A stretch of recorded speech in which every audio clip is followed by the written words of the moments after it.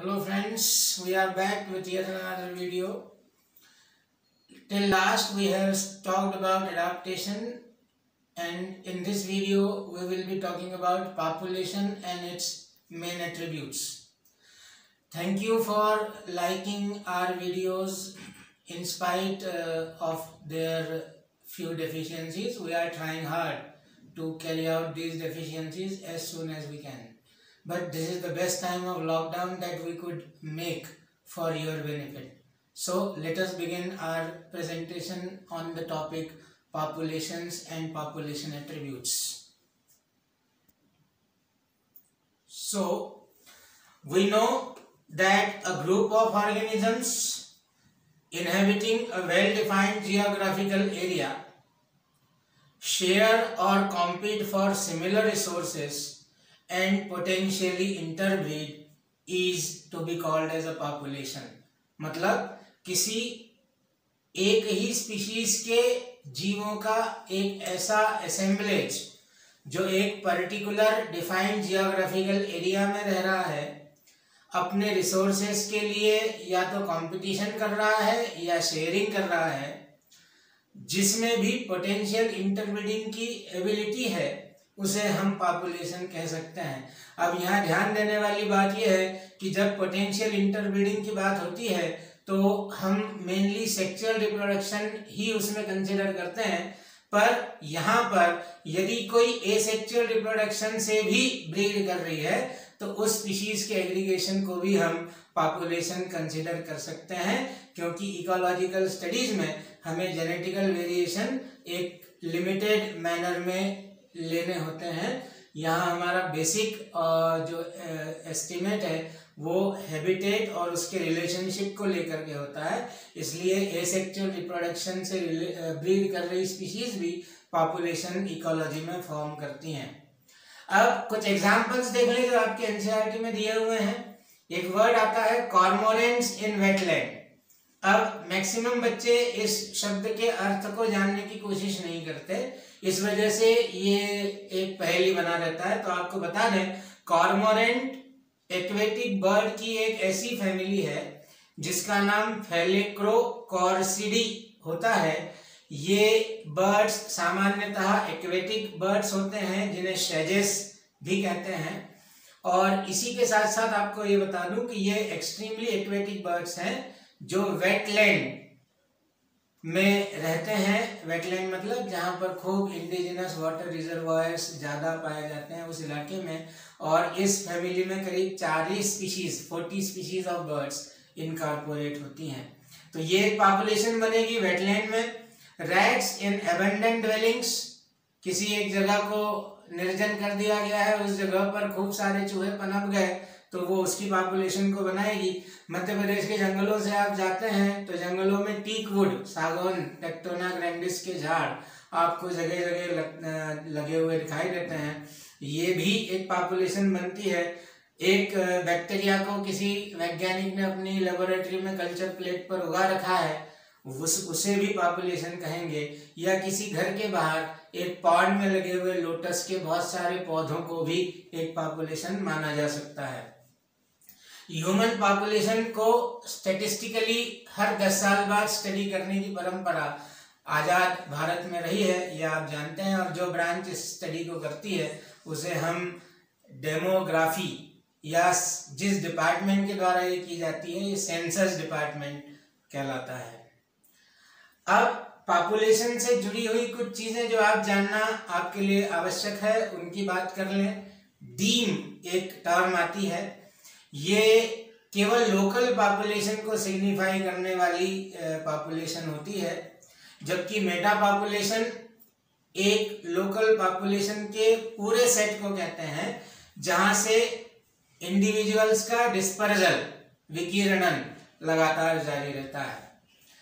तो इस तरीके से पॉपुलेशन वो लेवल है जिस पर नेचर में नेचुरल सिलेक्शन की प्रोसेस होती रहती है। और एडाप्टेशंस क्रिएट होते रहते हैं। ये एडाप्टेशंस डिजायर्ड ट्रेट के इवोल्यूशन से अचीव किए जाते हैं और हमेशा बेटरमेंट ऑफ़ स्पीशीज की तरफ़ इंडिकेट करते हैं। तो इस सारी चीज़ों को जो इकोलॉजी जेनेटिक्स और पॉपुलेशन और इवोल्यूशन इन सब के इंटर रिलेशनशिप को स्टडी करने वाला एरिया है बायोलॉजी का, उसे हम पॉपुलेशन इकोलॉजी के नाम से जानते हैं।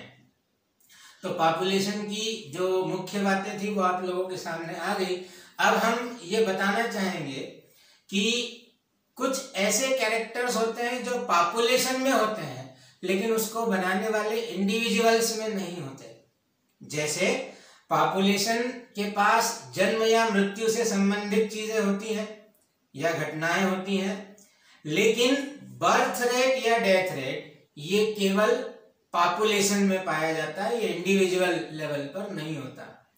इसी तरीके से एज रेशो सेक्स रेशो ये इंडिविजुअल लेवल पर नहीं पाया जाता, लेकिन ये कैरेक्टर पॉपुलेशन लेवल पर पाया जाता है। तो जो कैरेक्टर पॉपुलेशन को डिफाइन करने में हमारी मदद करते हैं, उन्हें हम पॉपुलेशन एट्रीब्यूट्स के नाम से जानते हैं, और ये सारी मेथड्स स्टैटिस्टिकल होने के साथ साथ किसी एक पॉपुलेशन के सारे कैरेक्टर्स को बेस्ट एक्सप्रेस करने के लिए भी रिक्वायर्ड होती हैं।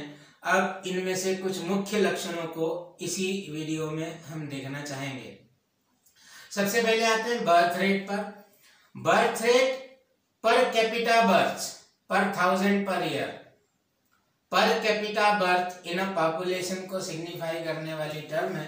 आपके एनसीईआरटी के उदाहरण से ही इसे जानने की कोशिश करें कि किसी एक पॉन्ड में किसी लोटस प्लांट की लास्ट ईयर की पॉपुलेशन थी बीस और इस साल उसमें आठ नए पौधे और बढ़ गए। तो टोटल पॉपुलेशन हो गई अट्ठाईस। तो birth rate of lotus population क्या है? तो नए बने आठ और कुल थे बीस। तो eight by twenty is equal to zero point four लेकिन अब यूनिट याद रखिए offsprings per lotus plant per year तो इस तरीके से पॉइंट फोर ये इस पॉपुलेशन की बर्थ रेट होगी। तो पॉपुलेशन जन्म दर, वो फैक्टर है जो किसी एक पॉपुलेशन में continuous increment of new individuals को सिग्निफाई करता है पर इंडिविजुअल से भी पर थाउज़ेंड से भी। इस तरीके से ये बर्थ रेट हम जान सकते हैं। बर्थ रेट के अपोजिट टर्म है डेथ रेट यदि बर्थ रेट बढ़ाने वाला फैक्टर है तो डेथ रेट घटाने वाला फैक्टर होगा।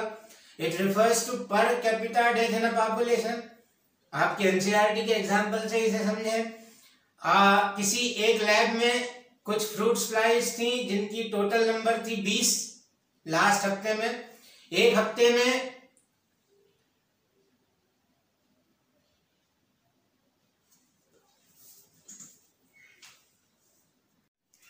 तो आपके एनसीआरटी का एग्जांपल है, किसी एक लैब में फ्रूट फ़्लाइट की पिछले हफ़्ते तक की पॉपुलेशन फोर्टी इंसेक्ट्स की थी। एक हफ़्ते में इसमें से चार की मृत्यु हो जाती है तो इस पॉपुलेशन का डेथ रेट क्या होगा? तो four by forty is equal to zero point one again you have to stress on the unit individual per fruit fly per week so this is the opposite term to birth rate it is called age death rate Third factor is sex ratio. Sex ratio is uh, the respective number of male and female organisms in a population. For instance, if the male in a population constitute 40%, then the rest 60% would be constituted by females. So it has a sex ratio of 40% male to 60% female. A population is said to be stable. So this is sex ratio अब यहाँ एक बात और भी याद रखने लायक है कि कोई एक पॉपुलेशन तब ज़्यादा स्टेबल होती है जब उसमें मेल और फीमेल का सेक्स रेशो लगभग लगभग बराबर हो या बिल्कुल बराबर हो। अगला है age pyramid different age group के ऑर्गेनिजम्स जो एक पॉपुलेशन को कंपोज करते हैं, यदि उन्हें एज के हिसाब से डिफ्रेंशिएट करके और पॉपुलेशन के साथ प्लॉट किए जाएँ तो जो स्ट्रक्चर ऑफ़ पिरामिड मिलता है, उसे हम एज पिरामिड कहते हैं। एज पिरामिड ह्यूमन पॉपुलेशन के लेवल पर जब हम कंसिडर करेंगे तो it is a graphic representation of proportion of various age groups of a population the sex ratio of different age group is also incorporated shape of the pyramid reflect growth status of a population I repeat किसी एक population pyramid का जो shape होता है, वो उसके status को, उसकी स्थिति को निश्चित करता है। तो तीन तरह के पिरामिड हमें मिलते हैं ट्राइंगुलर या एक्सपांडिंग बेल शेप या स्टेबल और अर्न शेप या डिक्लाइनिंग अगेन अर्न का अर्थ यहाँ पर लेंगे, एक ऐसा वास जिसकी बॉडी राउंडेड है और नेक नैरो है। तो इस तरीके से तीन प्रकार के हमको पिरामिड मिल सकते हैं। अब देखें कौन से पिरामिड की क्या खासियत होती है। कृपया अपना ध्यान पहले डायग्राम पर लगाएँगे जिसके नीचे एक्सपैंडिंग लिखा हुआ है। एक्सपैंडिंग या ट्राइंगुलर ये पिरामिड बनता है जब एक यंग या ग्रोइंग पॉपुलेशन जिसमें प्री रिप्रोडक्टिव एज ग्रुप का नंबर हाईएस्ट और पोस्ट रिप्रोडक्टिव का लीस्ट है।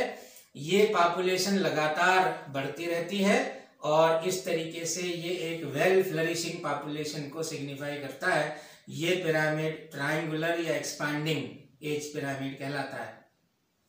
दूसरा, अब आप बीच के डायग्राम को कंसिडर करेंगे, ये एक कंपेन्युलेट यानी बेल शेप या स्टेबल पॉपुलेशन को सिग्निफाई करने वाला पिरामिड है। यहाँ ध्यान देने वाली बात यह है कि यहाँ पर प्री रिप्रोडक्टिव और रिप्रोडक्टिव पॉपुलेशन लगभग लगभग एक जैसी है, जिसकी वजह से ये पॉपुलेशन स्टेबल है। इसमें जितनी नए ऑर्गेनिजम्स आ रहे हैं, उतना उस पॉपुलेशन साइज़ को स्टेबल करने के लिए रिक्वायर्ड होगा।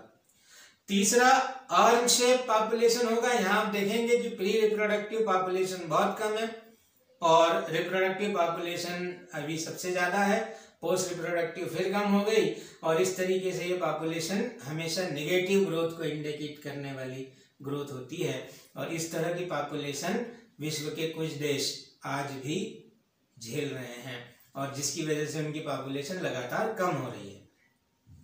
अब पॉपुलेशन साइज़ की बात करें पॉपुलेशन साइज़ किसी एक पॉपुलेशन के स्टेटस को सिग्निफाई करता है जिसमें impact of competition every ecological process is to be investigated is the outcome of competition and the population size like low population size जैसे साइबेरियन क्रेन एट भारतपुर जो कम, दस से कम हो सकता है, या मिलियंस में हो सकता है Chlamydomonas in a pond next is population size which tells us the status of a population in a habitat और किसी भी पॉपुलेशन का जो इकोलॉजिकल प्रोसेस इन्वेस्टिगेट किया जाता है, वो उसके कंपटीशन का आउटकम माना जाता है।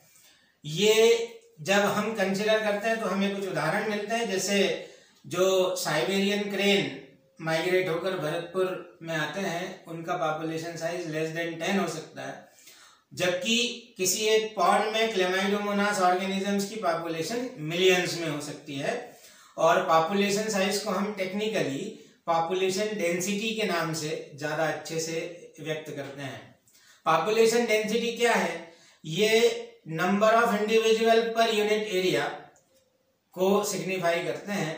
जैसे millions of spirogyra in a pond और 200 plants of parthenium, आप जिसे गाजर घास कहते हैं इन एन एरिया कुछ केसेस में टोटल नंबर मीनिंगलेस होता है। जैसे उदाहरण के लिए बात करें तो किसी एक इलाके में पार्थेनियम के 200 प्लांट है, लेकिन उसके साथ एक बड़ा सा बनियान ट्री भी है, जिसकी एक ह्यूज केनापी है। यहाँ पर हम बनियान ट्री का रोल अंडर एस्टिमेट करके बता रहे हैं, क्योंकि परसेंटेज कवर और biomass is more meaningful measure number could not be easily adaptable measure for bacterial culture in a test test lab to तो एक प्लेट पर जो बैक्टीरिया उग रहा है, उसमें भी नंबर बहुत अच्छा पैरामीटर नहीं माना जा सकता या बनियान ट्री के रोल को भी हम अंडर एस्टिमेट नहीं कर सकते। इसलिए population biomass per unit area और वॉल्यूम इसे हम पॉपुलेशन डेंसिटी की परफेक्ट डेफिनेशन कह सकते हैं। It is a unit where we can analyse a whole area on the availability of biomass in that particular area इसके अलावा एक और टर्म है जिससे आप टोटल डेंसिटी को फॉलो कर सकते हैं, वो है रिलेटिव डेंसिटी जैसे किसी एक मछुआरे ने अपना जाल नदी में डाला या समुद्र में डाला और उसमें से निकलने वाली जो मछलियाँ हैं, उनमें टोटल डेंसिटी ऑफ़ फ़िश को काउंट कर लिया। तो वो लगभग लगभग एक्चुअल पॉपुलेशन साइज़ के बराबर ही होगा।